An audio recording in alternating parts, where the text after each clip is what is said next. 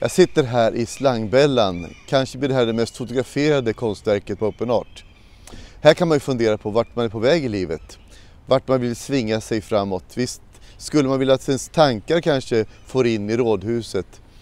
Eller bara fundera på vart man själv är på väg i livet.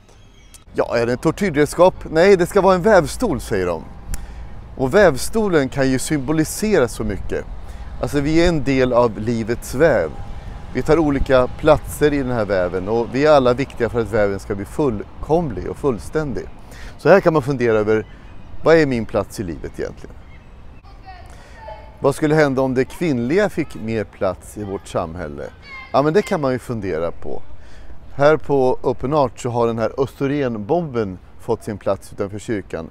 Och vi som kyrka vill vara en del av att ifrågasätta vårt nuvarande samhälle.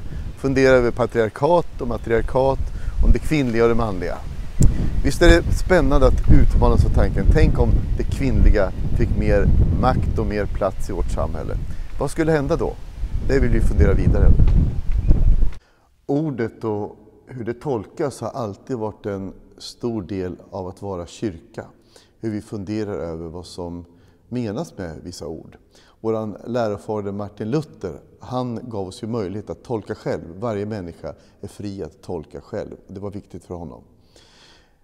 I kyrkan har Ulrika Sparre två verk. Det är lite olika meningar. Och man kan fundera på vad betyder det här för dig? I kyrkan skulle vi kanske säga att det där handlar om Jesus som så småningom reaches the horizon. Ja, så kan man tänka. Hur tänker du? Här i kyrkan har vi ju rullat ut vår regnbågsmatta för fyra år sedan. Och nu så har vår regnbågsmatta fått en kompis i det här verket som heter Toolbox. Och den har en kompis vid slottet och då är det en regnbåge. Vi kan ju fundera på hur vi kan använda vårt vardagliga, våra vardagliga verktyg, som här är ju dammvipper, för att skapa någonting som berättar om någonting annat. Här skulle det kunna handla om att det vardagliga kan bli gudomligt och att Gud älskar alla människor. Open art är inte bara konstverk utan det är också performance-konstverk. Här kommer det vara en konstnär här på gräsmattan som några gånger i veckan kommer att göra ett performanceverk med sig själv och med de som är här. Ni kan kolla på Open Arts hemsida så vet ni vilka tider det kommer att ske. Och när man har varit här så kan man också varje vardag gå till Café Nikolaj här borta och där kan man få fika, gott fika och billigt fika.